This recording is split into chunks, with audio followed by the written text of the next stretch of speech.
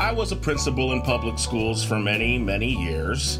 I'm the director of a charter school now, and I will say this. What kind of light bulbs are those? Those are T6s, and there's a ballast in there. How many bulbs in this school? Thousands of light bulbs.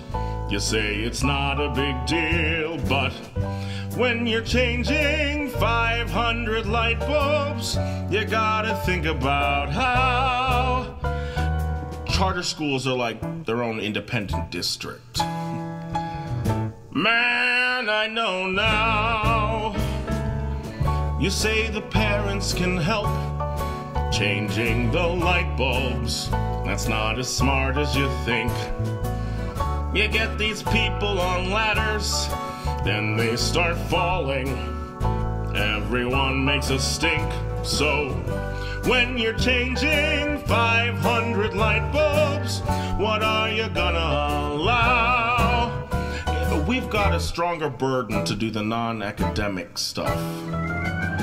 Man, I know now.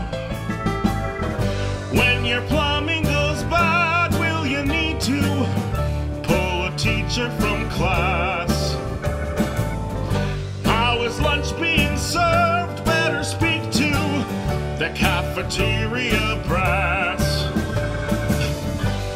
Shoveling the snow, cleaning the sidewalk, the grass?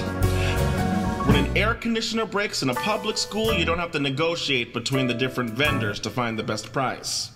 Okay? When the school bus breaks down, who are you calling? Better find a garage.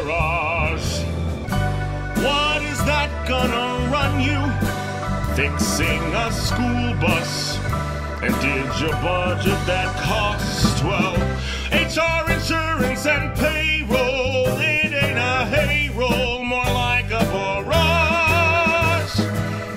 Everything a central office at a public school does, we have to do that because, well, we're the only ones here. And man, I know that.